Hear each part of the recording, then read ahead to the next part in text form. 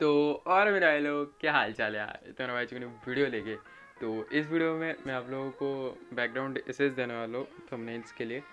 तो इसमें आप लोगों को तो एच मिल ही रहा है। उसी के साथ साथ जो बटन्स होते हैं fire button jam button prone button वो सब हाइड के हुए ठीक है? तो इसलिए आप लोग जब एडिट करोगे ना तो आप लोगों को उतना दिक्कत नहीं होगा।